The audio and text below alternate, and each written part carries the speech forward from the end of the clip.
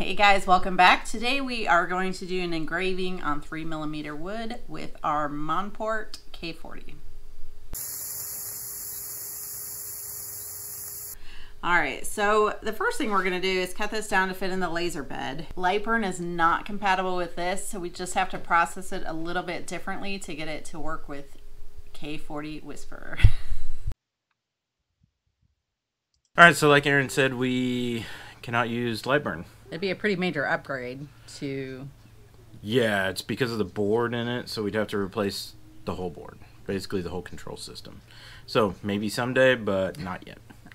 Uh, what we are going to use is the Big Gimping uh, plug-in, like we've uh, used in the past uh, through GIMP, and this is the photo we pulled off the internet, just a test photo that looked super cool. So we wanted to see how it burned. So we're running this through like it is wood. We're going to burn on wood, which basically means it's not going to invert it at the end.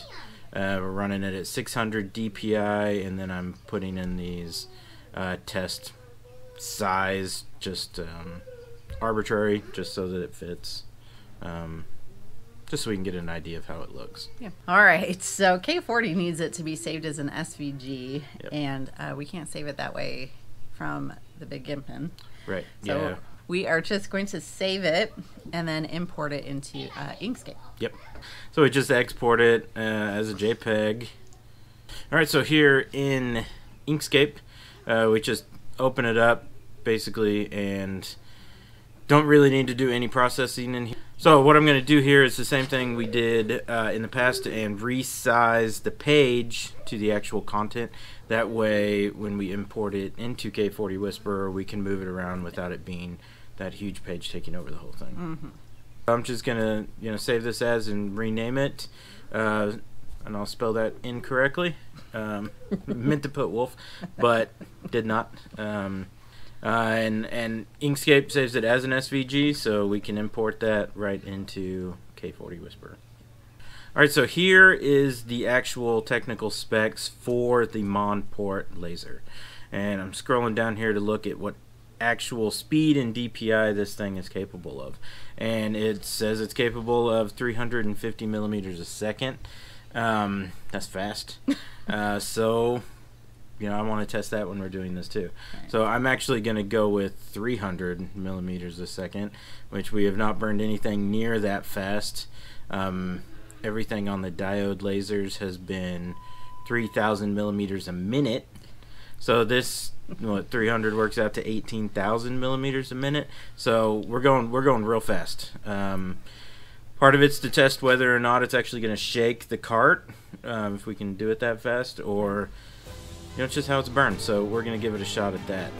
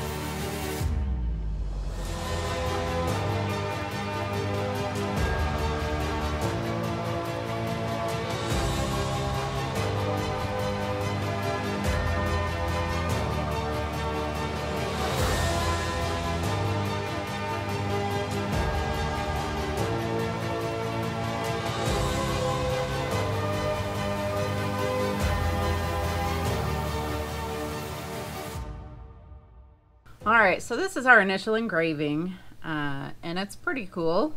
Uh, it is harder to read the farther away you go, though. Yep. Uh, so we thought, Hard to make it out. The details. right, Super cool up close. Yes. It's also uh, uh, burned a little heavy. I think I should have turned it down a little bit. all right. Um, it took a it took away some of the detail. It burned too much. Yeah, which I also think maybe DPI is a little too high. I did the DPI at 600, which might be a little bit much for this laser. It's Just you know, testing it, dialing it in. But I think next time I'd turn it down to at least 500, maybe 400, and that could also be uh, needing to just get the exact um, distance away from the laser head. However, we can't adjust that yet because of the bed. Right. So we thought, you know, why don't we also go ahead and try a little bit of baking soda and a little borax like we've done before? Yeah, we love the, way that turned out beforehand. Right. So um, here is our baking soda, and it's pretty muddled. I have a hard time seeing much definition unless we're really close to it. Yeah. Now the reason that that happened, and this is what assured me that 20% was too much. So what it's doing and why it looks so bad is because it actually burned through the top layer and is burning down into the wood. And that's going to be really cool when I do it on purpose. But when I did it on accident, it actually made it look bad. So it burned away what should be really dark ends up being nothing and looks bad. Okay, so we turned it down to ten percent before we did the borax, and as before, I think uh, by far our favorite. Uh, the detail in it's amazing. Even the farther back you go, you can still it's still readable. Absolutely, yeah. Borax has always been our favorite. Yeah. Uh, get your most rich blacks. Um, it it looks incredible. It really does. Details super super good. Um, the details great in the other one. It's just Not really pops. Yeah. With borax. So baking soda is fun to play around with.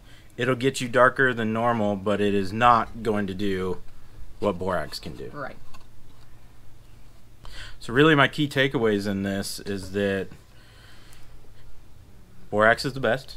Yeah. You know, so It if we're just going to engrave a photo and we want it to sit on top, uh, use borax. Yeah. Yeah. Um, need to adjust the DPI down a bit. The settings that it said the 1200 is probably absolute perfect distance, perfect everything, perfect focal point. Um, that's just not going to be realistic most of the time. Um, so turning down the DPI is good because otherwise there's too much in there and that'll muddy your picture. So backing it off a bit, having a little bit less detail ends up showing more detail. So we were a little worried about uh, not being able to use Lightburn. Yeah, I think that's my one biggest turn off of going into K40 was But is that just because we're used to using Lightburn? It is, yeah, it's Or- absolutely used okay. because of that, and and that was, I mean, that was why I was hesitant. But K40 Whisper, I didn't know that it would be this easy to do stuff. Um, I mean, it took us a few extra steps. a few extra steps, yeah, but absolutely. But I mean, we got the same result right. in the end. So don't let uh, your fear of not being able to use Lightburn stop you. Yeah, absolutely. I mean, K40 Whisper is actually pretty intuitive. Hey guys, don't forget to like and subscribe. It helps us out a lot. And we'll see you next time.